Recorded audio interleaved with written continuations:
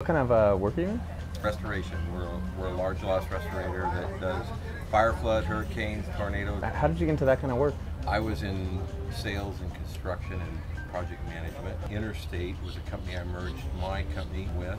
I sold out of that, and then I bought another company in 17 and started doing about 50 million a year. So a lot of these people own companies, franchises, have multiple companies. He started out in sales, so sales is you could be rich doing sales, but you're not going to be wealthy. He was like, yeah, I started out in sales and construction, but then he started owning companies, and then one of them has revenue of 50 million. Own some shit is definitely the number one pathway. You got to be a business owner and have a business that does high cash flow if you want to be a yacht owner. That's what I'm taking away from this so far. Can't be no worker. You got to be a boss.